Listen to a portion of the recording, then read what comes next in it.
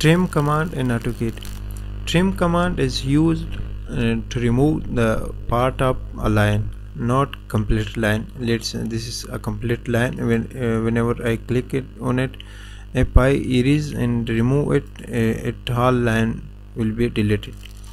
So if you want to uh, finish uh, or erase at some part and if you want to finish extra lines and edges between this plane uh, so you can uh, finish by simple trim command. This plane is already drawn by the help of line and polyline now you want to uh, finish some part of them and extra edges by the help of trim command. Simply click on trim command and uh, uh, go where do you want to finish the line. You can this is main entrance so I would like to finish this line and this both of them. Simply click on it.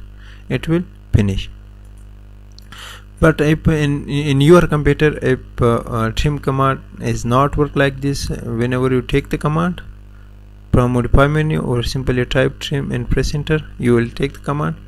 Uh, after that simply press enter. Before to start the trim command working before press enter. Like this press enter. Now it work.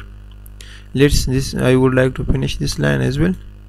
This as well and more this line as well to finish this line and this is main entrance and finish. Simply click on it it will show that this is removable. It is show uh, show us that this is removable. You just click on it.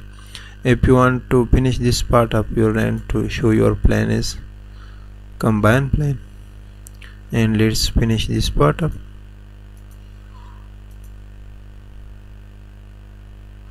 And finish this line and finish this. And as well as for your plan. And come here and print. Now you can see there that uh, it show you that if you press this whole line will finish. If in this small part if click only it will finish all the line complete line. It means that you uh, this line is not joined with this line. So then you should uh, just press the space to finish the command. Now you check these two lines are not joined are not combined. Simply click on it and combine with it. So now you can finish this part for your plane to show it combined. Just take the command. Simple press enter. Now you can see it, it is removable. Okay? And this is extra part. This is also finished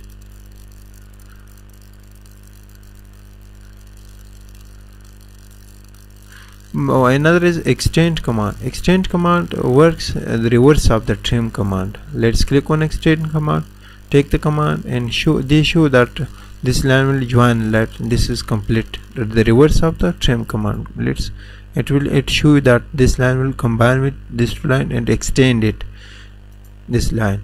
Let's click on it it will extend to another side like this. Let's click on it it will show you that extend to this part and this part you can and extend to this part it works the reverse of the trim command. Thank you for watching of this video and please subscribe my channel and for next short tutorial